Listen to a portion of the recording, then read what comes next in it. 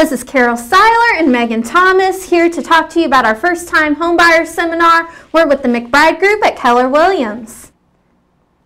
That's right. So we were able to find out from first time homebuyers that we helped last year what was so scary about the home buying process. And their number one answer was not knowing where to start. Once they sat down with us in a consultation and we went over the expectations of what the home buying process looks like, they realized it wasn't as scary as they thought and they wished they would have started sooner. So our goal in this first time homebuyer workshop is to help you get the answers so this process is exciting and not scary. Because it is exciting, it can feel overwhelming, but having more education in your back pocket for when you're ready is really going to help you with this process. And that's our goal of this workshop.